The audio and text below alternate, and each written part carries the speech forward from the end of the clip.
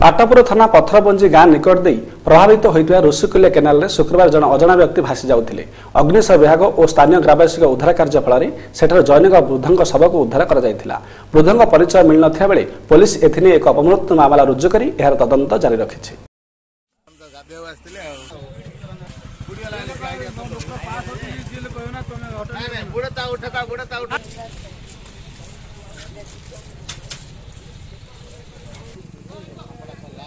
কারণ